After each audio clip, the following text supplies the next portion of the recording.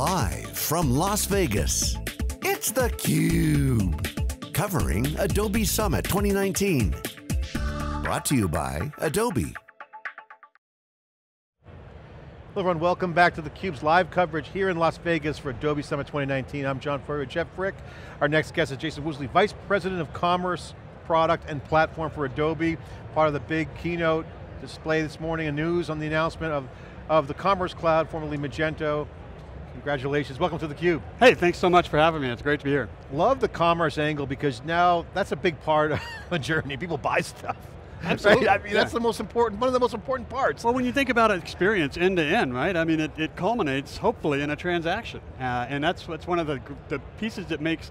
You know, the, the Magento acquisition fits so well into the Adobe family. We actually kind of finished that last mile of the, uh, of the transaction, getting to you know, actual ownership. You know, I love this event because uh, it feels like a little like Woodstock, as Steve Lucas said on stage, because you got the best of big data, all the intoxicating kind of conversations and discussions.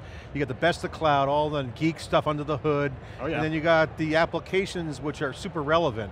So it's really kind of, I love the content, love you guys are in the middle of, a, I think a great wave of, of innovation coming. But if you look at the big picture, you're seeing the same kind of themes. Latency, relevance. I mean, these are tech terms used on your product and commerce, a lot different than other things. So you're starting to see these geek terms kind of weaving into this new cloud. I, I think you're really starting to see a convergence of some of this terminology into, into what really matters, and that's the customer experience, right? It's really about answering what the customer wants. Uh, and getting to that is, you know, that's the magic. It's, and it's accepting the fact that it's a disjointed journey. I, I love the journey conversation, but it's not the straight pipe like it used to be. You're in and out, you know, you're looking on a website, you're, you're tweet, you're jumping over from a tweet, you know, there's so many kind of ins and outs, ins and outs, ins and outs. And consumers are to so that buy. sophisticated now, right? I mean, they absolutely take advantage of all of those channels, and that's why it's so important for you know merchants that are trying to be relevant. You've got to be present at every point where your customers are, and it's a tough thing to do because there's just a proliferation of channels. I mean, you know, we've got uh, digital kiosk, we've got uh, buy online, pick up in store, all these omni-channel operations coming together now. Uh, so it becomes even more important for merchants to make that investment and make sure that not only are they at the place where their customers are, but they're there with a relevant and personalized message. Jason, I got to ask you the question. I, I bring this up a lot when we have these kind of user experience kind of conversations. Is, you know, when you have new things coming on the market that are that are hard to operationalize out of the gate, it takes some time. Yep. We're starting to see that with you guys that built the platform. People are starting to operationalize new capabilities. But on the on the consumer side, the user side, expectations become the new experience, kind of a cliche in the tech world. What are some of those experiences that you're seeing that's becoming the new expectations? To your point about the old way, you know, I can smell a marketing funnel a mile away. I'm trying to buy something and all these other distractions that are not relevant to me are, are there. So you start to see some frustration, but now users expect something new. What is that expectation that's converting into experience? It's across the board, and expectations are sky high, right? And, and it seems like every time we see something innovative, I mean, you think about Amazon Prime, right? Two-day shipping, that was, that was crazy back in the day. And now, two-day shipping is considered standard shipping, right? If you want to be fast, you're doing same day. And that, you know, that, that kind of, it is so hard to keep up with that pace of, of innovation. Yeah. And it happens all over the place, right? It's not just in logistics. Uh, people are expecting to be able to take advantage of omni-channel operations, right? Millennials especially, 60% of them really, really prefer to be able to have a tangible interaction with the product before they buy it, but they still want to buy online. So now they do buy online, pick up in store, or click and collect as they call it in Europe. Uh, and it's just become a huge fad. Uh, we've seen a 250% increase of the largest retailers of buy online, pick up in store just in the last year. Absolutely crazy. It's pretty wild when, when Best Buy gets on stage and says we're not a brick and mortar retailer. Yeah, it, it, it actually changes the game, right? Yeah, but right. you know what else is interesting though is that these brick and mortar retailers that have an online presence, they actually have a distinct advantage because of that kind of tangibility, right? You've got the opportunity to do all of your shopping online, but you've also got a great place to go do showcasing and, and actually interact with some of those, uh, especially more high-tech tools. Right. You guys been out front on the Magento side. We covered your event last year right before the acquisition, and a couple things popped out at me that, that I want to get your reaction to now. One is obviously the role of the community, but as you started getting into the cloud kind of play, the economics are changing too, right? So you have you know, community, economics, and then large scale. Yeah. These are new table stakes. So what's your reaction to that? How is, how are, uh, how is Adobe and how are your customers adjusting to this kind of new normal. Your thoughts on this shift? Yeah, you, you know, I think they, they adjust faster than we expect them to. I, you know, it's, it's really interesting because as, as you see these demands for, for things like cloud operations, right? I mean, really that's taking a whole set of responsibilities away from the merchant and, and, and allowing a vendor, you know, a single vendor to just provide that as a service. And we're seeing that again and again, right? This service-based economy that's just becoming much, much more prevalent. And what it means for our community, and, and I'm glad you brought that up because, you know, our, our commerce community is the largest in the world, it's highly engaged, we have a, a tremendous amount of participation from those guys, and they're actually helping lead the way.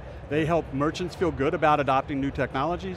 Uh, they're also incredibly innovative, uh, and they take our product and do things that we would have never thought. Provide great product feedback to the developers. It's great, nice flywheel. It is a great use, flywheel. It's a great use case. Congratulations, you guys done some great work Oh, there. thanks, And thanks. Adobe's certainly going to get the benefits of that.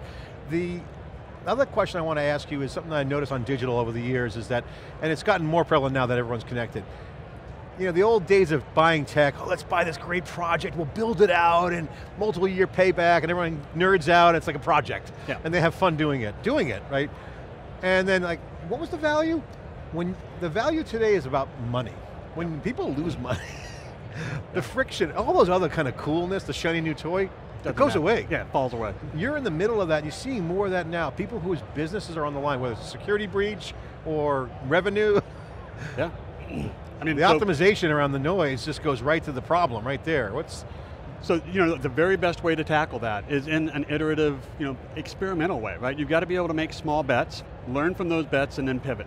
This, this concept that we can take an idea, go, you know, into our, our back rooms and, and code it for three years and come back out with something that meets the market, it's a fallacy, it's never going to work, right? So you've got to start delivering shippable increments much faster, smaller pieces, and then make sure that you've got that feedback loop closed so that you can actually respond to your customers. Right. The other piece, which you just talked on briefly, but I want to unpack it in, in reference to what you just said, two, two big words, open source and ecosystem. Yep. And, and as you said, you can't just go in the back room, even if you knew the product, you can't necessarily go in the back room and build it yourself. The, Yep. You know, fundamentally believe that not all the experts are in your four walls, and that there's a, by rule, there's a lot more outside, and leveraging that capability is really a game changer. Yeah, absolutely. I mean, we have uh, 300,000 developers that call themselves Magento engineers and don't take a paycheck from Adobe.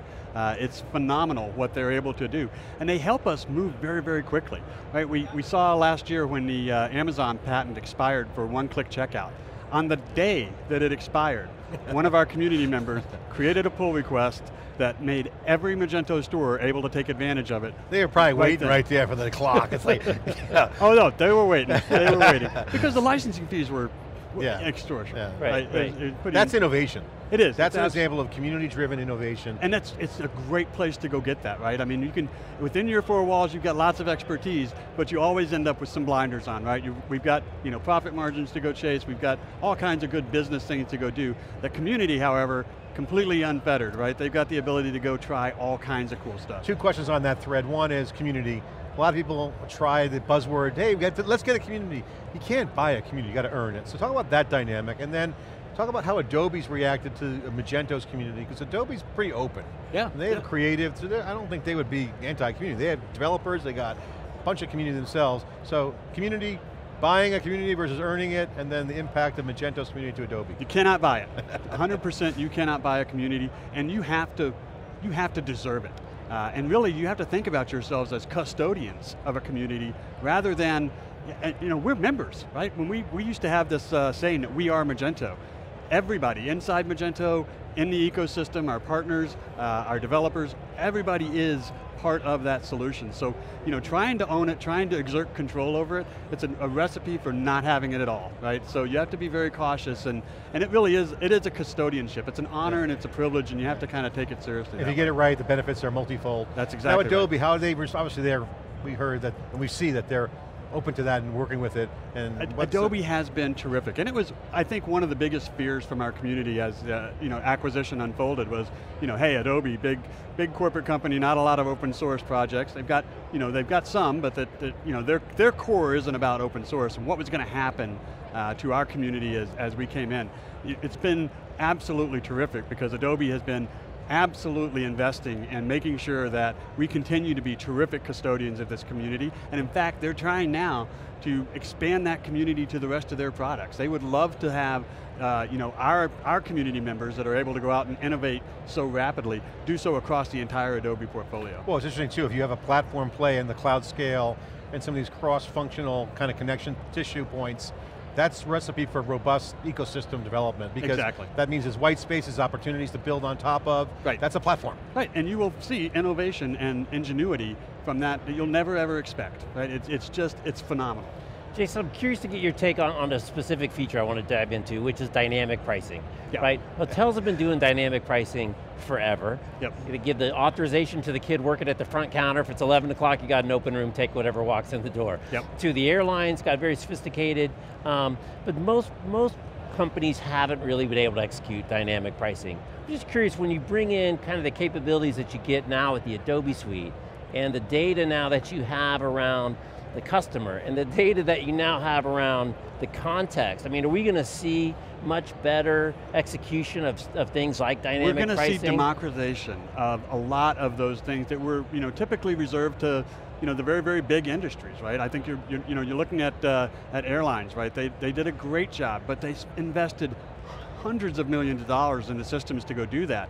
Now with, with things like Sensei and, and artificial intelligence, our machine learning capabilities, we can actually bring those capabilities to small merchants uh, and, and you know, kind of everyday folks to go out and do those experiments with your, with your pricing and understand you know, where you have elasticity and where you don't. Once you have that information, you're making much better decisions across the board for your business. And that's actually the benefits of, again, a platform um, and scale that you have. Uh, so the question is, as you guys continue to get this cloud scale going, what are some of the platform priorities for you guys? Um, well, what product areas are you looking at? What white spaces are going to lead for the ecosystem? Can you share a little bit of insight into what you guys are thinking? Yeah, I mean, you know, one, we try to open everything to the ecosystem. There's really not a lot of advantage for us to have, you know, anything that's, that's super closed off and, and, you know, secret sauce. We try to make sure that, that everything is available. And so what you'll see is investments in things like SDKs, right? And uh, an SDK, a software development kit, basically lets you use any, any language, any tool that you're comfortable with to go ahead and integrate, extend, and contribute to our core capabilities. And so you'll see us continue to invest in making sure that you know, everybody that wants to participate has a very, very easy path to do so. And in terms of like um, the developer program, you mentioned SDK, what's your impression of that? Can you give an update? We're not really familiar with it much, we're learning um, Adobe. What's, what do you guys have for developer programs within Adobe? Well, I mean, so it, it is terrific. We have a, a, a, pro a project called Adobe.io uh, that actually does a terrific job of sort of standardizing the API and interfaces between all of the different components within the, uh, the digital experience suite. So you'll, you'll continue to see us invest in that. I mean, certainly commerce is going to start participating in that Adobe I.O. Yeah. model, and that's going to make it even more broadly available to, right. to these great folks. You know, one of the things we had on theCUBE today was a historic moment. We've been doing this for 10 years, hundreds of shows a year. We had our first guest on, one of your customers from MetLife. Yeah. His title was Marketing CIO. And I'm like, okay, he's part of the global technology and operations team of MetLife, but I think the bigger story there is that this, we think will be a bigger trend than just a one-off. We think we're seeing the, con the connection between the IT world, data, developers, applications coming together where marketing is like a CIO. And it's exactly right. I mean, we, we look at you know, the CMO and the CIO it's kind of two sides of the same coin. Uh, and more often than not, they have the same objectives. They're coming at it from a slightly different perspective. Right. And so you really do end up having to marry the message so that it resonates not only with the, with the IT folks, and usually that's about you know, cloud processes, ease of use, ease of deployment, yeah. uh, you know, low cost to operation. And then on the marketing side, it's really about feature availability and visual merchandising and you know, being able to bring their great yeah. products to, uh, to life. And the interesting quote he said, uh, I said, what's it like to be a marketing CIO? Share to others who might want to be there. He goes, well, I'm kind of a matchmaker and a translator.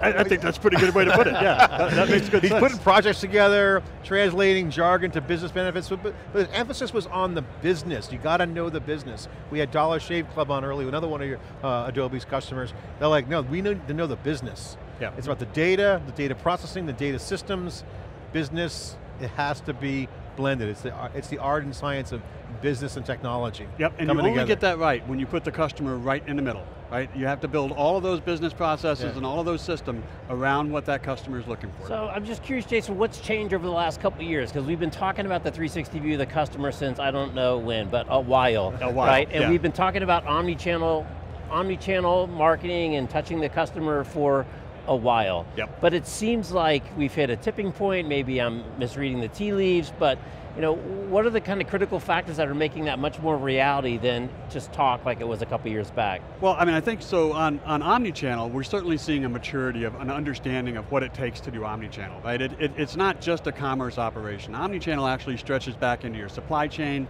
uh, you know, to be able to really think about uh, the way you deliver to customers as a single channel, your supply chain has to be highly flexible, right? Your logistics capabilities have to be extremely flexible, and they have to be able to be tuned for the things that are important to your customers, either speed of delivery or cost of delivery, uh, all of those kinds of things. So it's, in, in the omni-channel space, I think we're finally starting to see the maturity of, okay, how do we make these things real? Uh, and that's, that's, that's critically important. And, and uh, I, the, The, the other one- 360, 360 view of the 360 customer. view of the customer. Almost the same thing there, right? Where we're finally seeing the technology start to catch up. And the big challenge there was you always had one view or the other. You either had a behavioral view of your customer, how they interact with your content, or you had this great transactional view, the dollars and cents behind the relationship. Now we're starting to see companies, especially like Adobe, that have made these incredible investments to bring those two houses of data together and that really starts to tell the full story. Again, going back to that customer journey, you need to be able to observe that entire journey in order to make those kinds of, of uh, decisions. Jason, I wish we had more time. I want to get one more question. I know we want to break here, but um, maybe we can follow up as a separate conversation in Palo Alto. You know, having a digital footprint, Yep. you hear that buzzword a lot, get a digital footprint out there. Um, it makes a lot of sense. Yep. But a world that has been dominated by silos, it's hard to have a footprint when you have siloed entities. So in your mind, your reaction between something that's foundational and then data silos, just like, data silos could be okay at academic, uh, at the app level, but what's the foundational footprint? I mean, foundation's everything. Without It a is. foundation, you really can't build on. Yeah, and we talked a little bit about uh, the Adobe Experience Platform this morning. You heard Shantanu uh, and Anjul come on and talk about, you know, we've got this, this amazing capability now to really take that data, standardize it, and make it available for all kinds of systems and processes. And, and I think that's where you're going to see a, a, the real foundation for you know, all of these siloed efforts is going to be in this kind of common data understanding, what they call an XDM. And customers got silos too, they got agencies, all kinds of things out Oh, there. ab- Tons of data everywhere. Jason, thanks for coming on, really appreciate it. Hey guys, I appreciate it, thanks so much, it's been a All right, blast. Jason Woosley on the cube here right. at Adobe Summit 2019. I'm John Furrier, day one of two days of wall-to-wall live coverage. Stay with us for more coverage after this short break.